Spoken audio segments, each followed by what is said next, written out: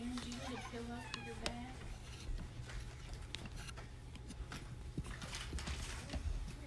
Mm, yeah. Rather sit here. Go sit over there. Would you rather sit?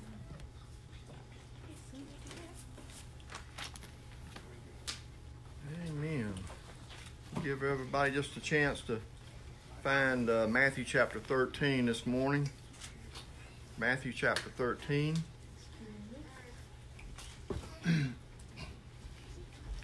What's- What did you say, Dad? Matthew chapter 13. Levi, Charlie, I'm gonna switch with you. Come sit in the middle. Go. Come here, sit down. Huh? Are y'all rearranging? You don't have to make. Let me see it.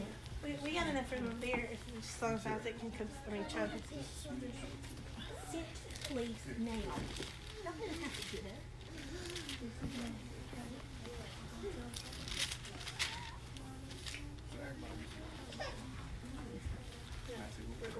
Good morning to those of you joining us by way of the internet. Okay, Matthew chapter 13, verse 1. Um, this morning we're going to look at a very familiar parable that I've covered many times, but often these passages come up again and again, or they're needed again and again, or there is more depth to them again and again. So we're going to go over uh, the parable of the sower this morning, and we're going to focus on one of the soils. A lot of times I go through this and I just cover it in teaching of the four soil types, and we talk about the four things. But um, let's go through uh, Matthew chapter 1, excuse me, Matthew chapter 13, verse 1 through 9. The same day went Jesus out of the house and sat by the seaside. And great multitudes were gathered together unto him, so that he went into a ship and sat, and the whole multitude stood on the shore.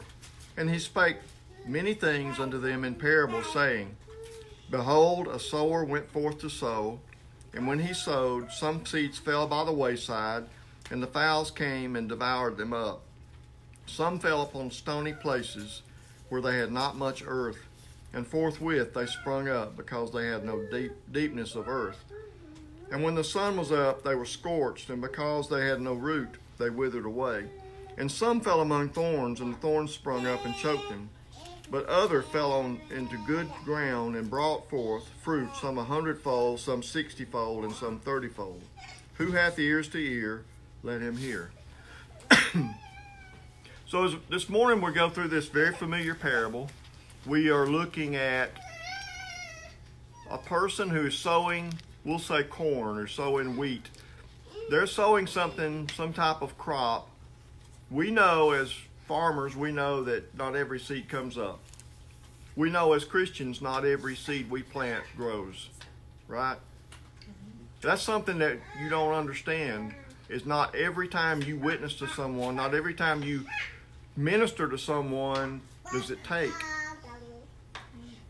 Amen? That's right. We get frustrated because we say this is the all powerful Word of God.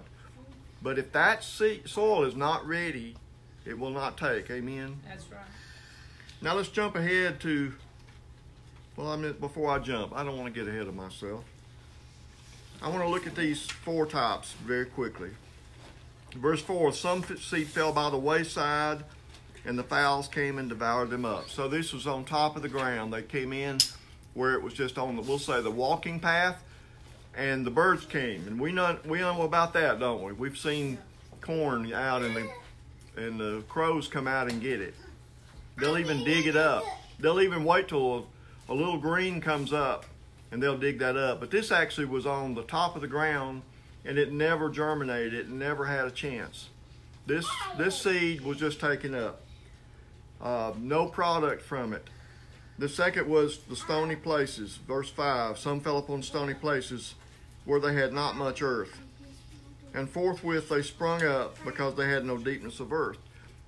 I want that is very critical that you understand that because that is the main part of my message today is they sprung up because they were didn't have much earth.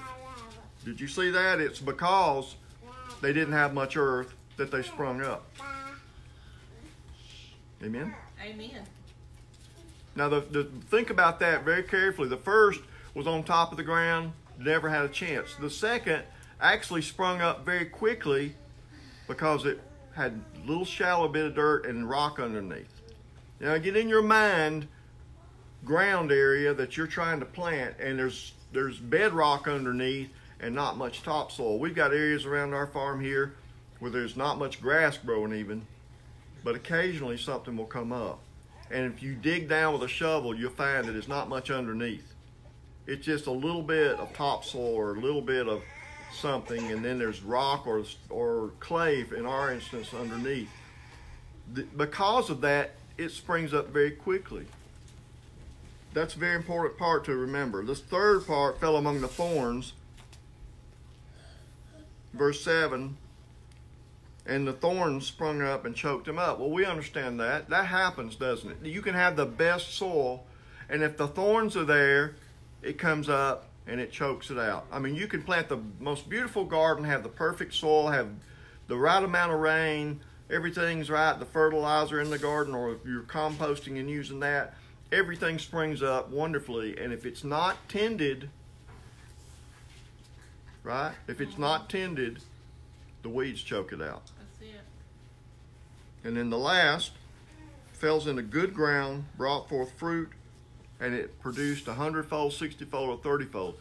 So the last we really don't talk about because that is what we see as a product of Christianity is we see growth. We see people that they have fruit in their lives.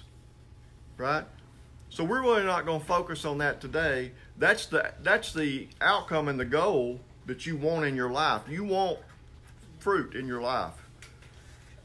But these other things are problems. Let's focus on these problems this morning and see if we can't get them resolved. Now, Jesus had to go through this parable with his disciples because they didn't understand it.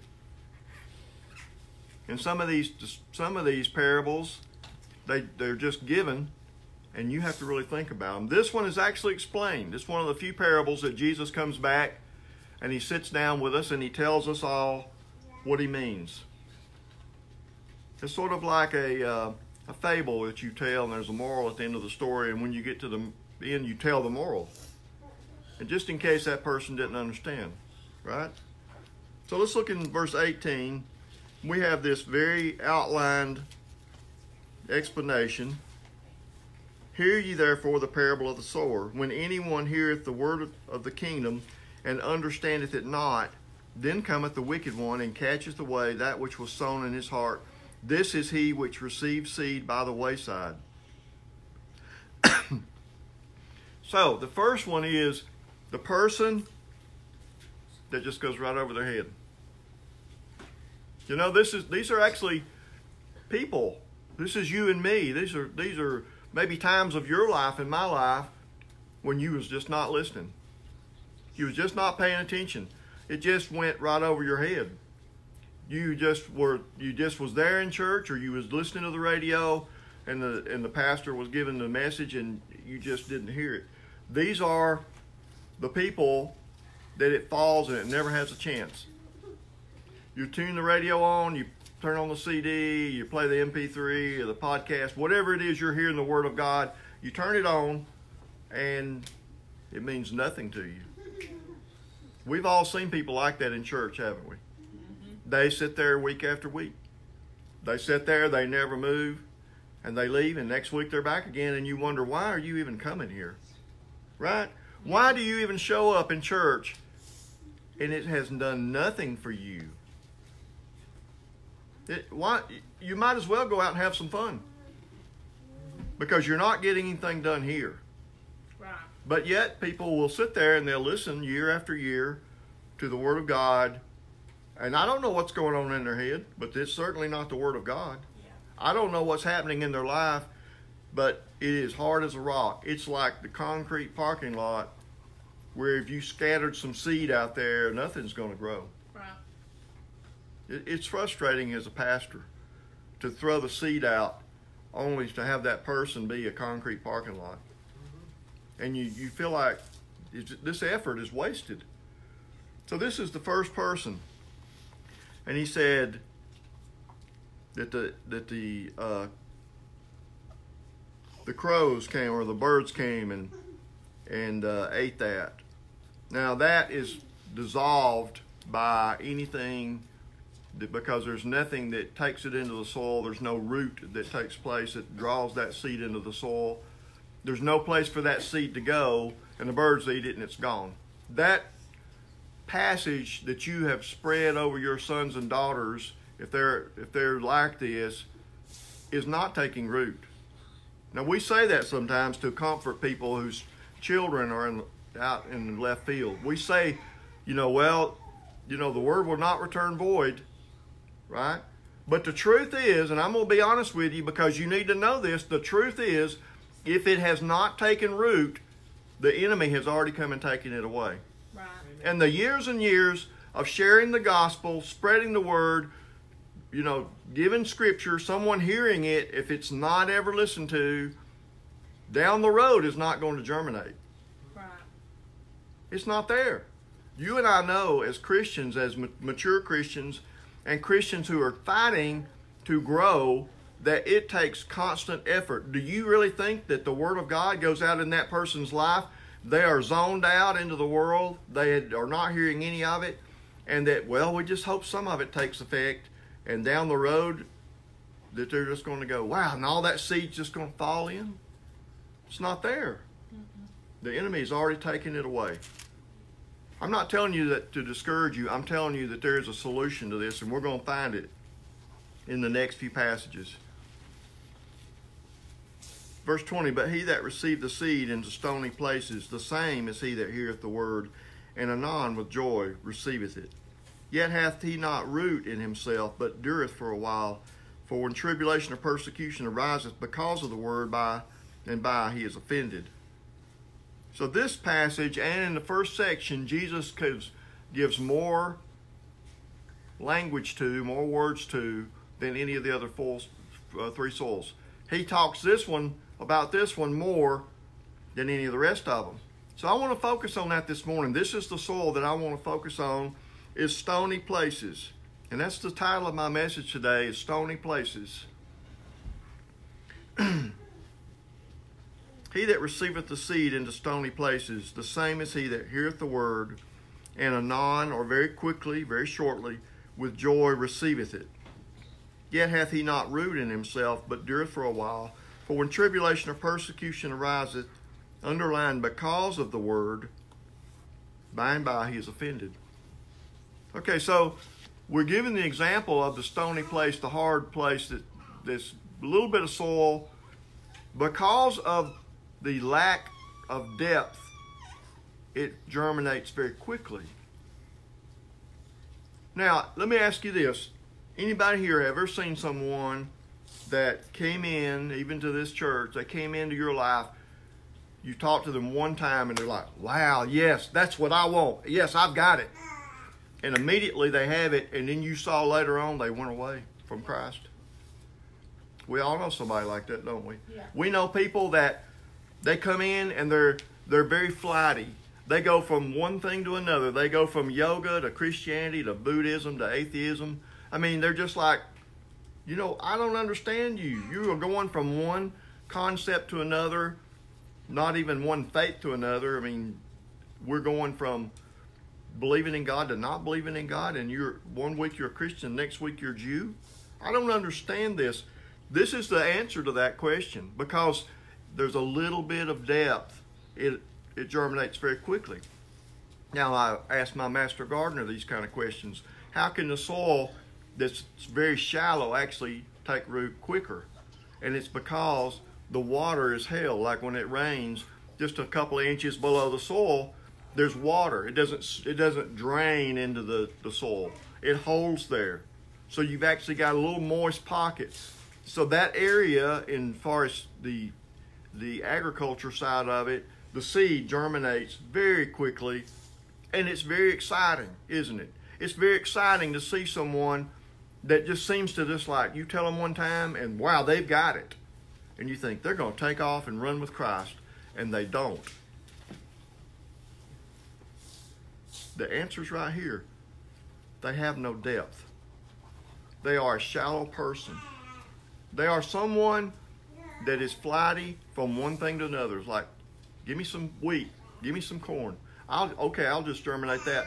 It's germination all the time, but there's never any product from it.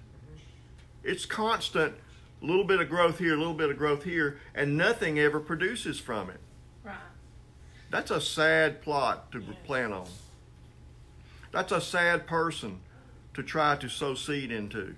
It's frustrating as a pastor to see people like this. They have no depth. Now, it's, it's very frustrating to see someone you're casting seed out and it's just bouncing off and they're just they're just staring at you with that blank stare. They're just they'll look right through you. That's sad. But it is frustrating to know that there's a little bit of depth there. And it could work. It could work. This could happen to someone that the root could get down in and there be depth, and all of a sudden this field is going to grow. Amen? Amen. And he said, because of the word, he's, he goes through tribulation or persecution, and by and by he's offended. By and by he's offended. Because the word is planted there, there's a test. And the test is to see is this person really going to continue on with Christ? We have so many people that go down to join a church or they're even baptized and then they think they're good to go. That's this person. They didn't want any kind of relationship with Christ. They just didn't want to go to hell. They just are in the moment. They're listening to the message. And like I said, I'm not trying to discourage people, but if you do not see fruit in someone's life, they are not born again. Right. It's as simple as that. When you have depth, when you continue to grow, that is reason to believe that person is in Christ because of the forced soil. and very quickly, I'll continue through the rest of this, but we're going to get on to the next section of my message. Verse 23 He that receiveth, receives seed into the good ground, excuse me, 22, he also that receives seed among the thorns is he that heareth the word, and the care of this world and the deceitfulness of riches choke the word, and he becometh unfruitful.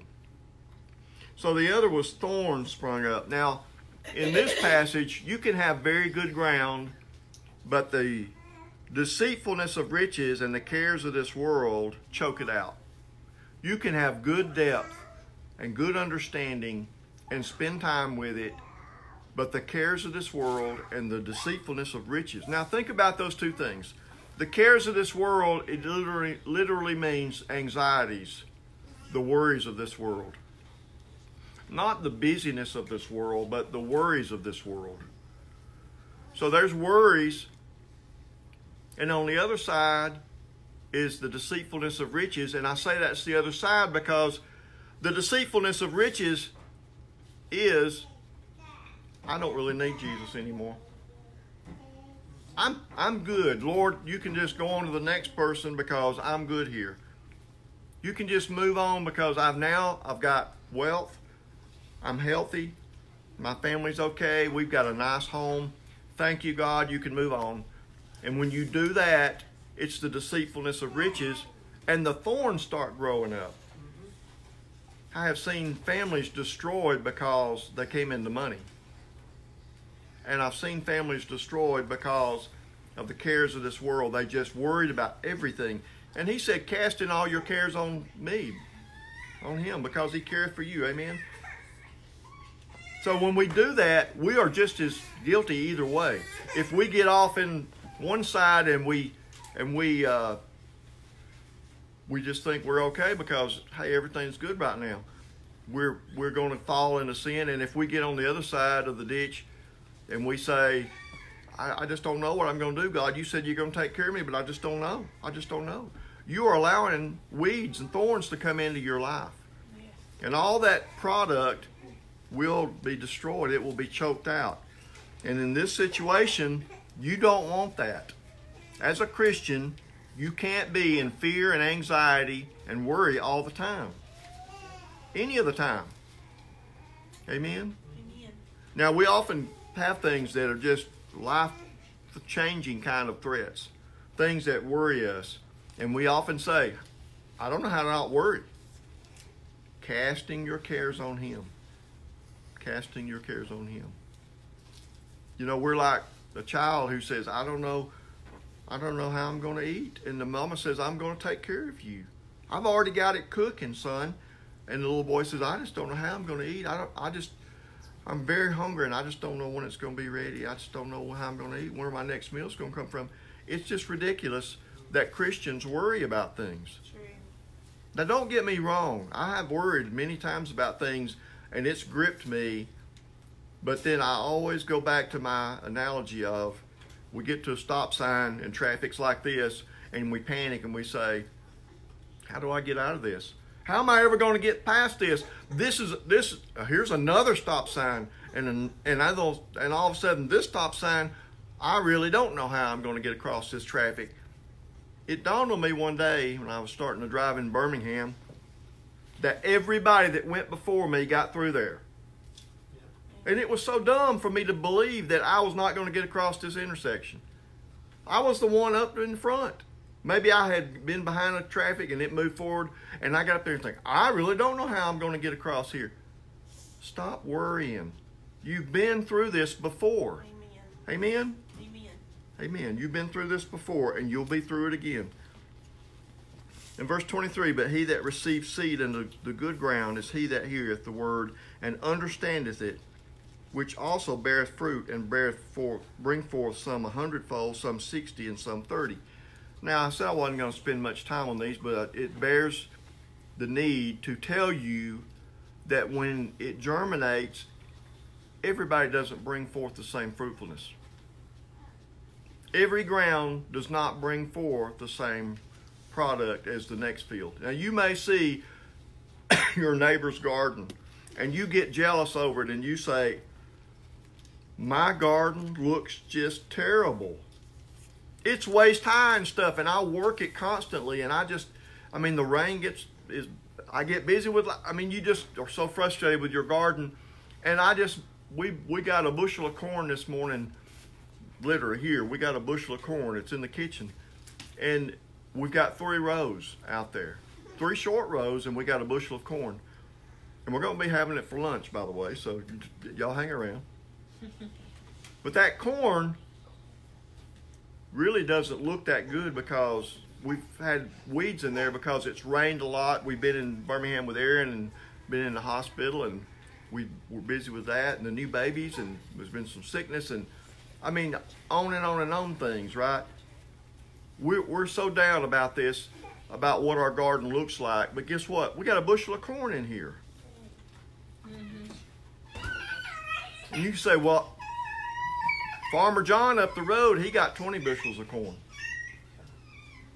That's the way we are as humans is we try to compare instead of just looking at the harvest. Right.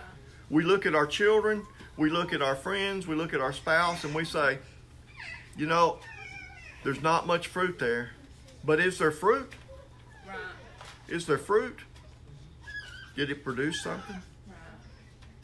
Now, when you think about that, I'm telling you, don't get discouraged about those you've got seed in and you've seen grow, and and they're, maybe they're immature Christians, but they're Christians and they've got a little fruit.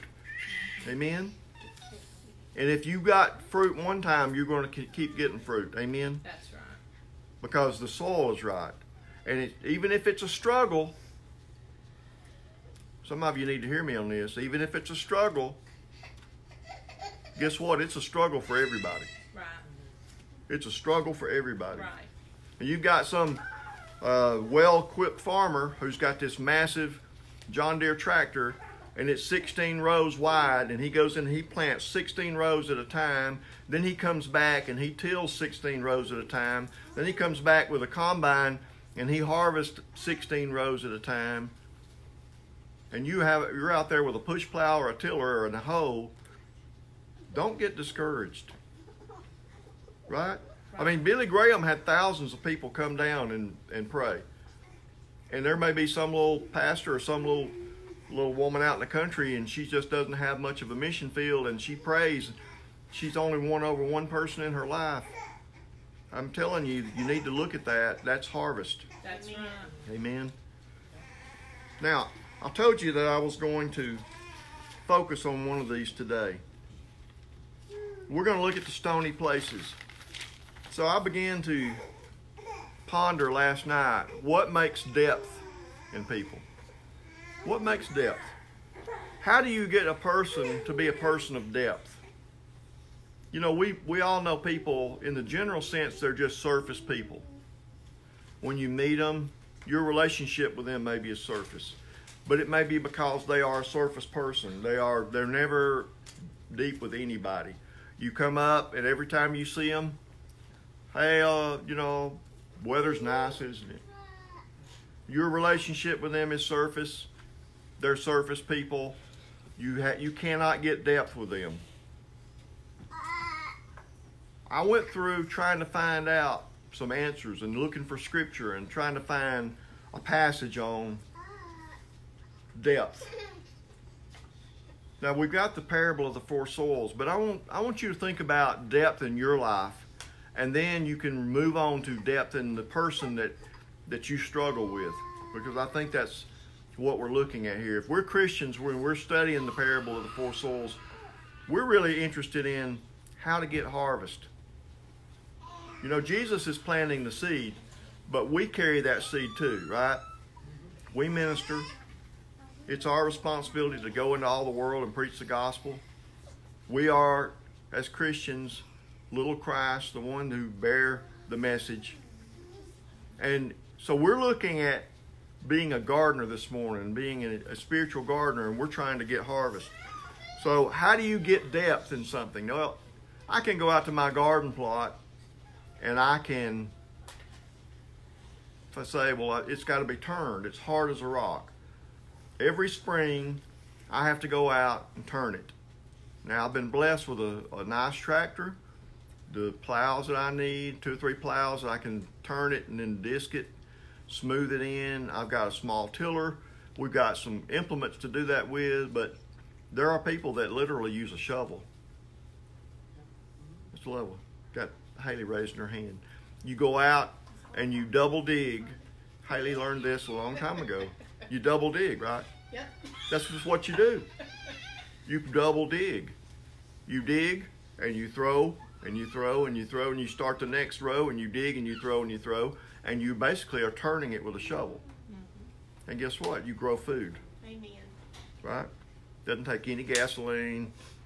Slower, but you can produce. It's good exercise. Amen.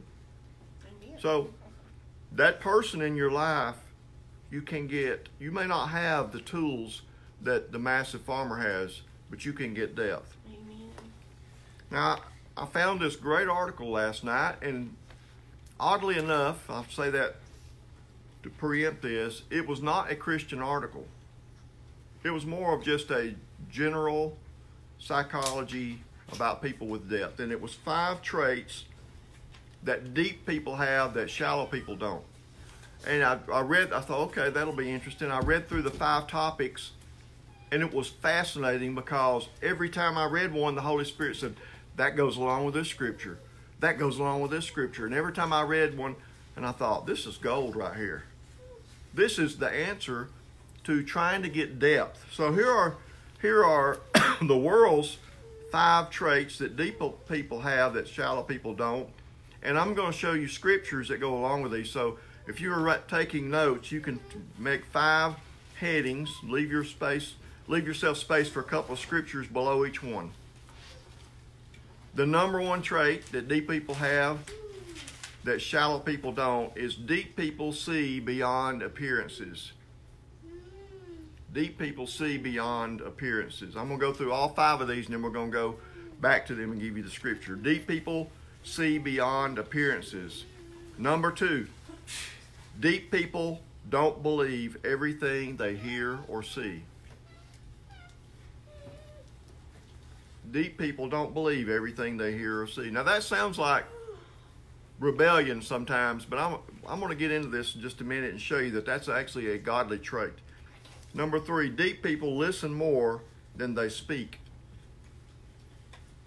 Deep people listen more than they speak. Number four, deep people think through the consequences of their behavior. Deep people think through the consequences of their behavior.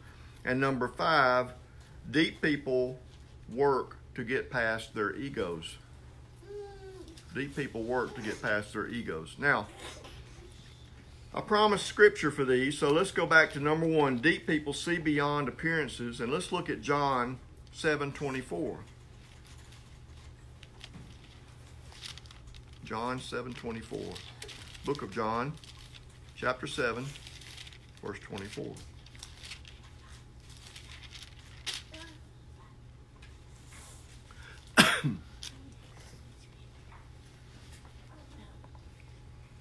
Judge not according to the appearance, but judge righteous judgment.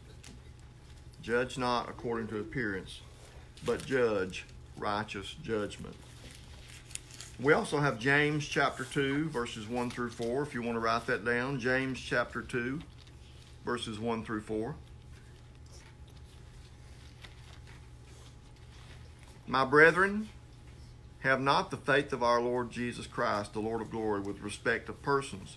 For if there come unto you your assembly a man with a gold ring and goodly apparel, and there come also a poor man in vile raiment, and ye have respect to him that weareth the gay clothing, and say unto him, Sit thou here in a good place, and say to the poor, Stand thou there, or sit there under my footstool, are you not then partial in yourselves, and are become judges of evil thoughts?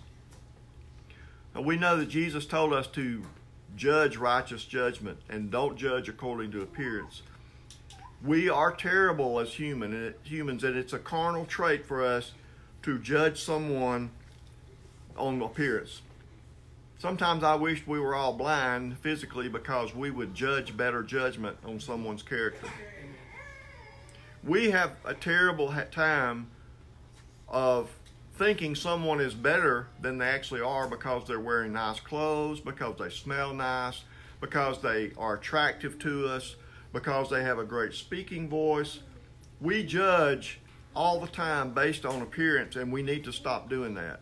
Mm-hmm. For depth in you, you need to understand that everything is not as it seems.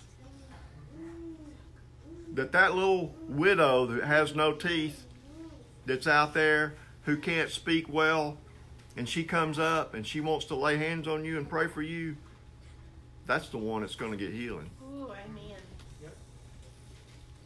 That televangelist that's got his $5,000 suit on and he's got gold rings on his fingers and he's impressed you by his appearance, that man is a charlatan, not a man of God.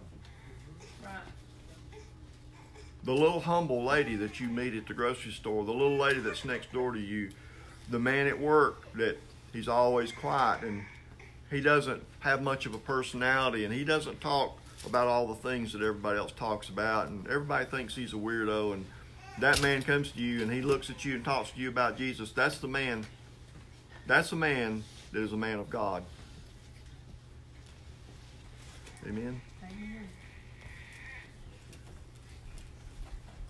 Judge not according to appearances. James talks about having a man come into your church and he has gold ring and good apparel, and then a man in in uh, vile raiment. He says, a man in poor clothes. I mean, imagine a homeless appearing person come in. I've I've seen videos where pastors dress like homeless people to test his flock, and he sat outside. There's there's one that comes to mind where he checks to see what his people would do, and I think they actually did very well. How would you how would you respond to someone if someone stops and asks you for help? Do you really pray and ask God for discernment, or do you just say, "Well, they look okay"? How many people that looked okay turned out to be predators? Mm-hmm. Right? Turned out to be predators there's a lot of mass murderers that are really nice people and they they're always interview the people that are the neighbors or the coworkers and they say I would never have thought him to be that way mm-hmm. right quit judging by by appearance and start judging righteous judgment and see be people beyond their appearance That's depth. Amen. Number two, deep people don't believe everything they hear or read. Let's look at Acts chapter 17. Acts chapter 17.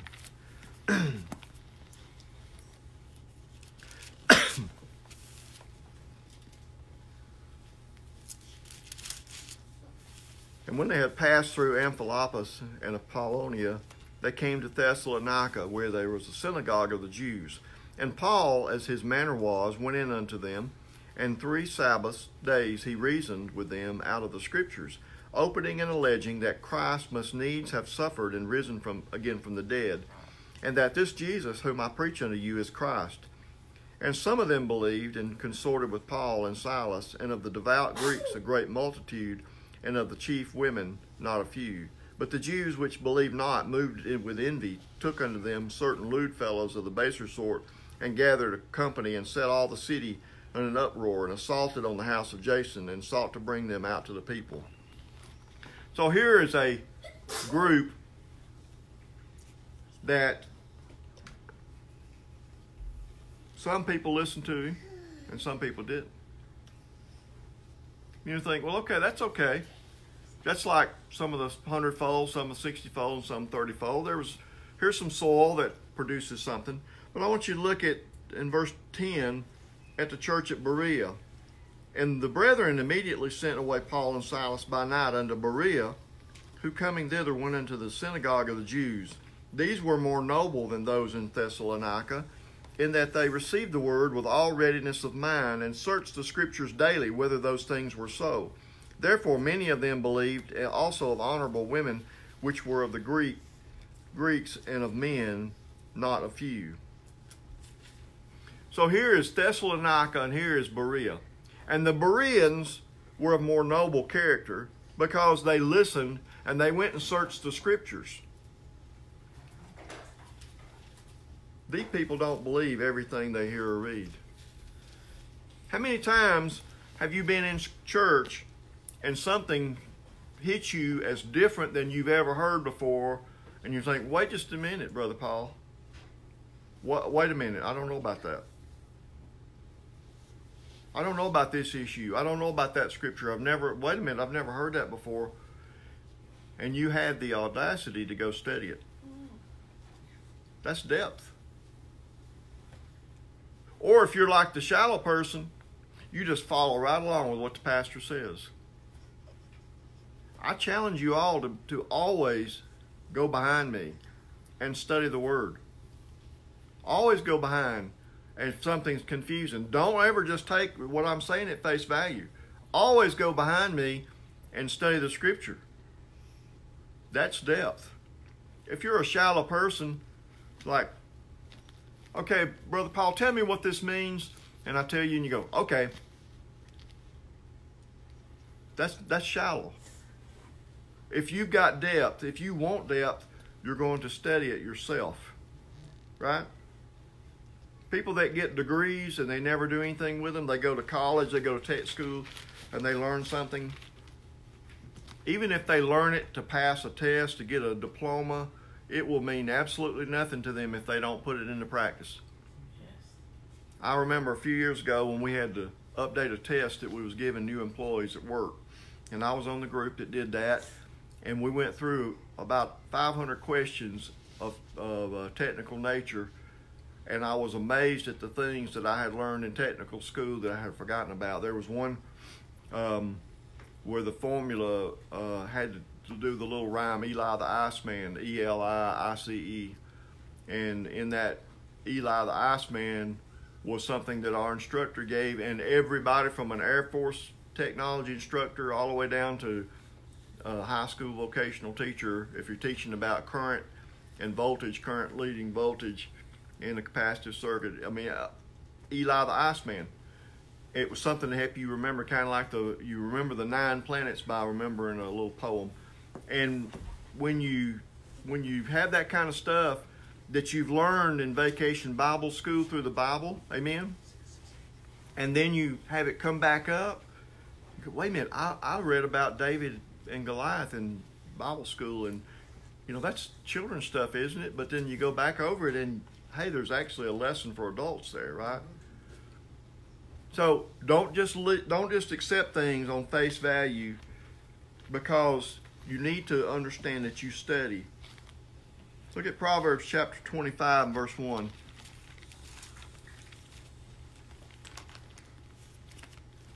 Proverbs 25 and verse 1. Excuse me, verse 2.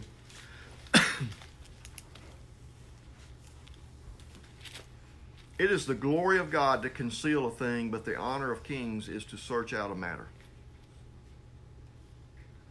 The glory of God to conceal a thing, the honor of kings to search it out. Noble people, people of depth, kings, spend time studying, thinking, searching out a matter. The dull, the shallow, the person who doesn't care, he just goes along with the flow, will not study it out, will not think about it, accepts it. Okay, that's just it. That's just it. Okay, now what's for supper? What restaurant are we going from? Church is over. Where are we going? That's shallow. There's no depth to you if you're like that. That that proverb right there tells me you want to be a king, you want to have a kingdom, you want to rule, you want to be in charge, you need to search out things. You don't just inherit it because you were born into a royal family do you think that those people in those royal families just, okay, and I just sit on the throne and tell you what you're supposed to do? Do you not think they go through training? Do you not think that they're taught etiquette, how to deal with foreign dignitaries? There's a little more to being a king than just you just were born a son of the king and when he dies you become the king. We don't think about that, do we? There's a little more to being a Christian than just going to church, hearing it, go to the restaurant. So true. I love it when I see people take notes. Amen. I love it when you take notes. I love it when you talk about it after the message is over, and that's what we do here when, when we end the message. Is we sit around and discuss it before we eat. Amen. Number three, deep people listen more than they speak. They listen more than they speak. Back to the book of James, chapter 1.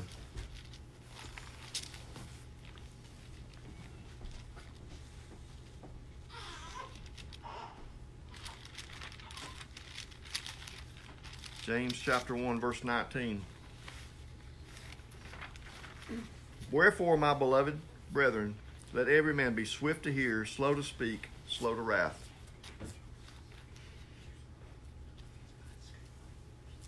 Swift to hear and slow to speak. I can tell shallow people because they do an awful lot of talking. But I can also tell you just because a person's quiet does not mean they're deep. Don't assume because someone barely speaks that they're sitting there taking it all in. They may be zoned out. There may be just, you know, your child or your husband or your wife or your supervisor, whoever you're trying to talk to. That person may not have any depth and may, they may sit there and glare at you. Uh huh. Uh huh. Have you ever been on the telephone with someone and you don't know what, what they're doing on the other end? And they're talking every now and then in response? Do you know what I've, I've done with people? It's just kind of seeing if, if they was really even caring if I, they just want to tell the story, if they just want to be, you know, I knew what they already they was going to tell me, lay the phone down, come back every now and then, hello, uh-huh, yeah. Wow, yeah. You know, you can do that to some people. They're just telling a story.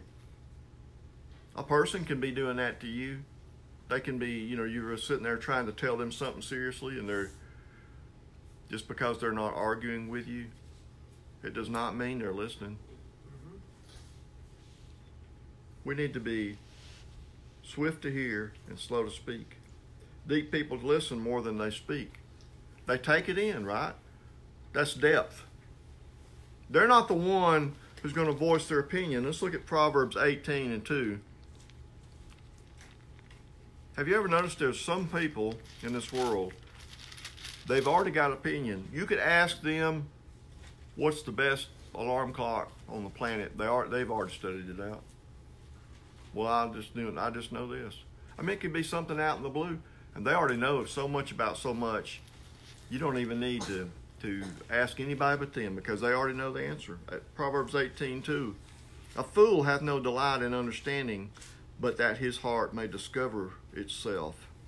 It literally means that he loves to express his own opinion. A fool loves to express his own opinion. Person who's not of depth, a person who's a shallow person, you know, while they may not be very vocal, when they are vocal, it's like Facebook or somewhere where they're not going to get in trouble. You know, a road rage is that way because people behind the glass window, they don't believe anything's going to happen to them. And, you know, they can just make a hand gesture to the person or cuss them out or whatever, or just swerve over there. Things that you would never do standing side by side because maybe they're they're just don't want to get in trouble, but they're they're sure bold about it when they can post Look, look at some of these uh, comments on YouTube videos. There's always somebody in the crowd. It doesn't matter if it's the greatest song that was ever written, if it's the most un- fascinating video event of the year, there'll be somebody not like it. The music was too loud. I didn't think the, the musician knew what he was doing.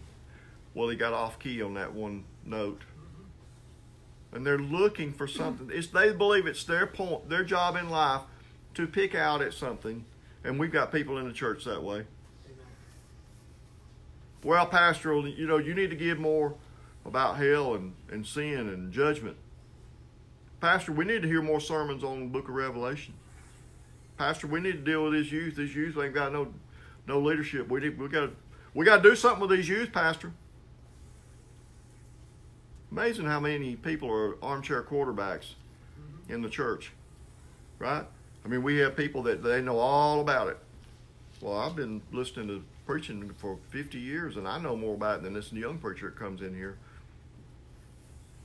But you're not a preacher, and you're not doing it, and you're not spreading the gospel, but you know about how to do it. I don't know how to run a bulldozer, but I've seen people do it. Mm-hmm. Right? I bet you these boys believe they can operate a bulldozer. They've seen the man do this. He operates both arms and both feet. Jonathan, you run a bulldozer? Yes. Yeah, it's hard, isn't it?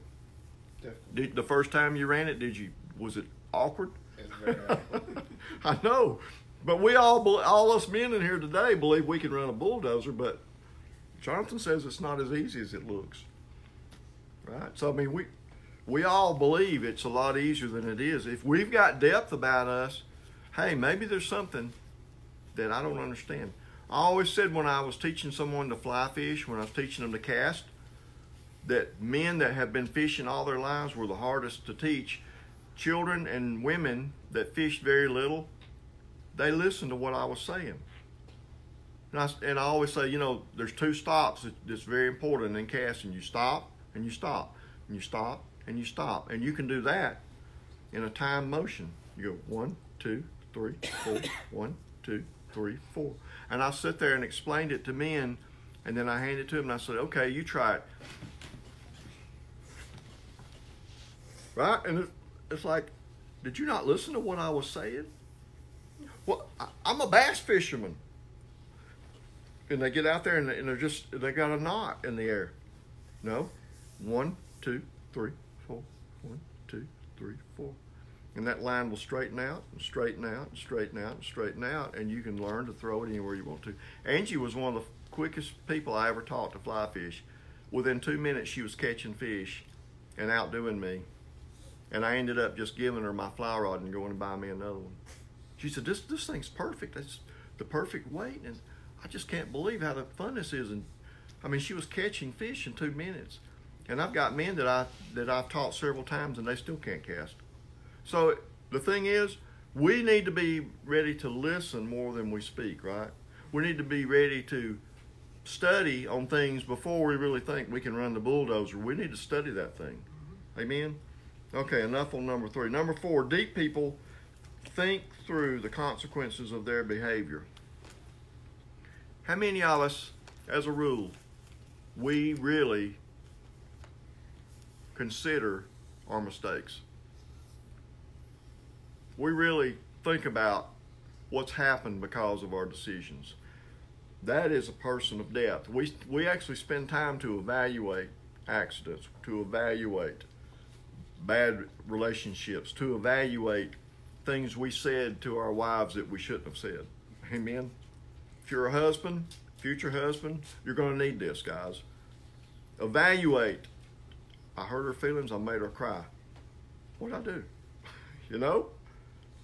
I mean, men are men sometimes are so dull, so shallow about that. They, I don't even know what I said. Well, find out what you said. Find out what the problem is, and straighten it out. Let's look at Haggai, chapter one.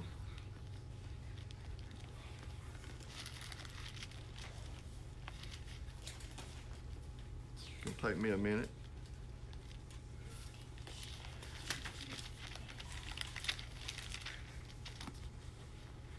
One of those elusive books.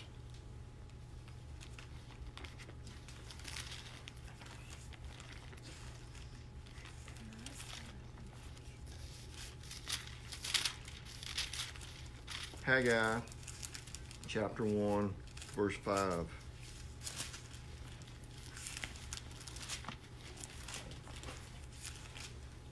Now therefore saith the Lord of hosts, consider your ways. Ye have sown much and bring in little. You eat, but you have not enough. You drink, but you are not filled with drink. You clothe you, but there is none warm. And he that earneth wages earneth wages to put into a bag with holes. Thus saith the Lord of hosts, consider your ways. I think that I could give a message on that right there alone. That right there is depth. What verse was it? Hmm? What verse? Uh, Haggai chapter 1, 5 through 7. Now look at the things that God says to these people to listen to. You've sown much and you bring in little. You eat, but you have not enough. You drink and you are not filled with drink. You clothe you, but there is none warm. And he that earneth wages earneth wages to put into a bag with holes. The things that you're doing, you're wasting your time on. The things that you're doing is for naught. All your work and all your production are going into something that is not productive, is not reaping benefits. Consider your ways and why are you doing it this way? You have the person who says, I can't ever get ahead. I can't ever get ahead. Nobody will help me. The man that sat there at the um, when the spring would boil up and Jesus went down and and the man and he says, "What's going on?" And the man said, "I sit here while the water boils up, but there's nobody to put me in. Nobody help. Nobody here to help me. I've been on welfare and food stamps for years and years. I can't seem to get ahead. Why are you on welfare and food stamps? Are you an able-bodied person? Right? I mean, why why is it somebody else's fault? Why can't it be your fault? I, I can't ever get ahead. I just keep having children and nobody will take care of them. You have children, they're your responsibility to take care of them. It's not the society's responsibility to take care of them. I can't ever seem to get ahead. I've been working here in this job for 20 years and I'm still making barely above minimum wage. Why are you still in that job? Amen. Right? Why don't you do something about your. Now, I'm just talking about practical things in life. This is a shallow person that believes that they can work a minimum wage job and try to get ahead. You know, minimum wage jobs are for people out of high school or like kids in su- in summer time between classes. Minimum wage jobs are not for people that want to uh, be breadwinners or someone who's running a home and has children. You need to get some training. You need to do a little something different, right? Consider your ways. If you are a person of depth, you consider the consequences of your behavior. You consider, hey, it might be my my fault. Hey, it might be something that I did, something that I said. And you consider that so you are a person of depth. Proverbs 24:16. Proverbs 24:16. I've only picked two verses for each of these. Um, but understand there can be a lot more. Proverbs 24 16.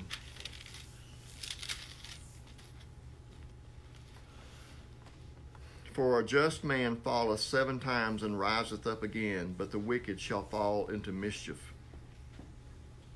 A just man falleth seven times and riseth up again, but the wicked fall, shall fall into mischief.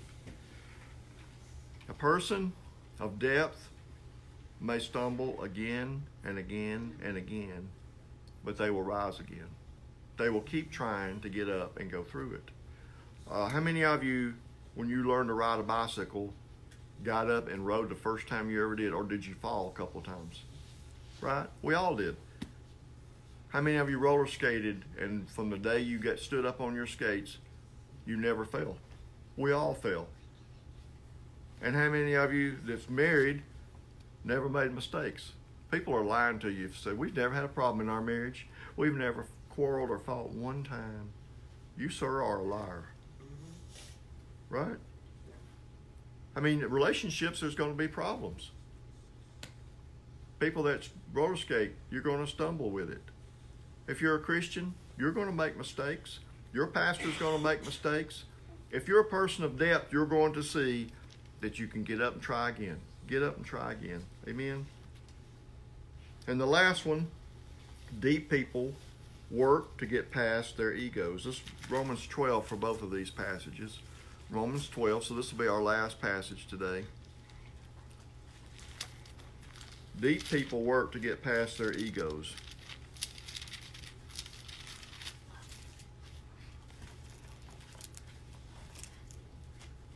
Romans 12, verse 3. For I say, through the grace given unto me, to every man that is among you, not to think of himself more highly than he ought to think, but to think soberly, according as God has dealt to every man the measure of faith. So you do not need to think yourself better than someone else. You do not need to judge yourself more spiritual, smarter, deeper. Even if you're a person of depth, you understand that your ego can get in the way. Right? You understand that you can get all puffed up of look how well I did.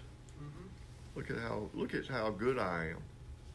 I've been watching a series uh, where these men are competing, men and women. They're competing in um, different types of shooting and targets. They're they're not just shooting guns. There are tomahawks and there are bows and arrows. And um, watched an episode last night where they even used rocks.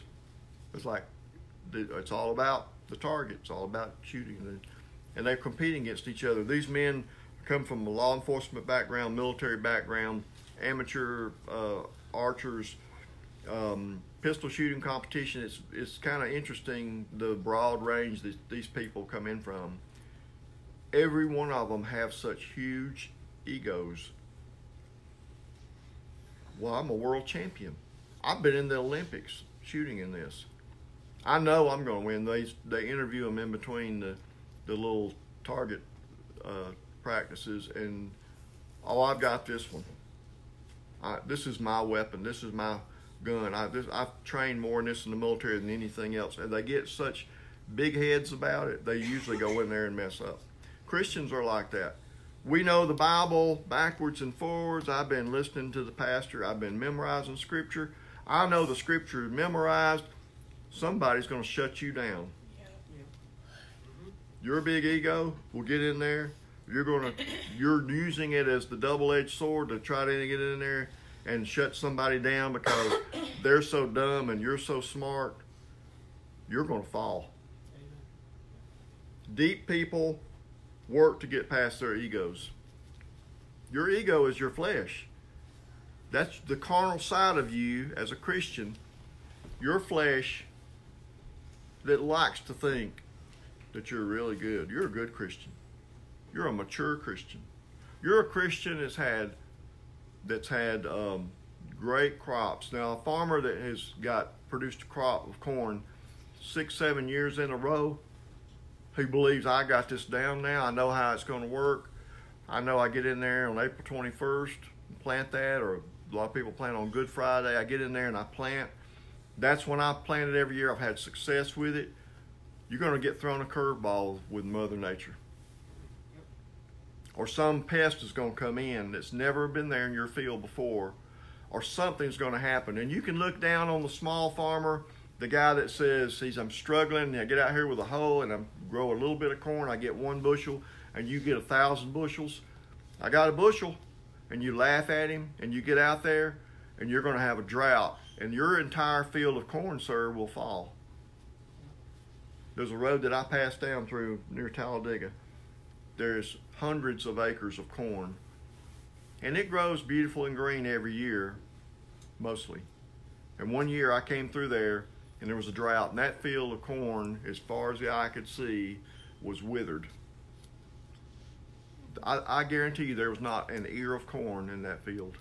That corn withered and died before it ever produced a ear, before it ever tasseled.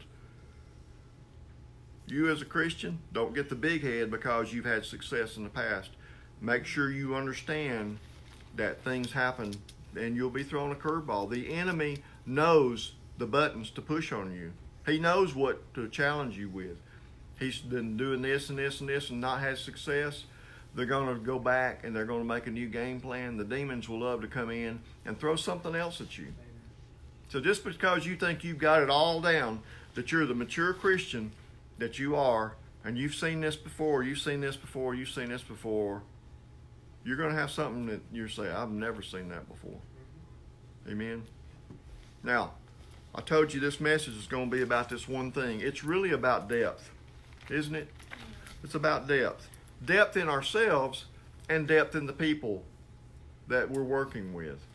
Understanding why the seed may either take place and root quickly and we don't, and then it just goes away, or we just keep trying to work that and work that and work that. Don't get discouraged because you've thrown seed out and it's just bounced off. Don't get discouraged in that. Keep planting the seed. Keep working in your own life to get that depth that you need to understand the Word of God, to understand what's happening in your life. The depth, even in ourselves, to understand someone else's shallowness. Amen? Because other people that can be shallow, we we look at them and we want to just hold their face in our hands and say, Listen to me. You're not listening, right? Have patience with that person. We all have times where we have stony hearts. We have a certain place. And if you've got a, an, an attitude where when somebody deals with you and you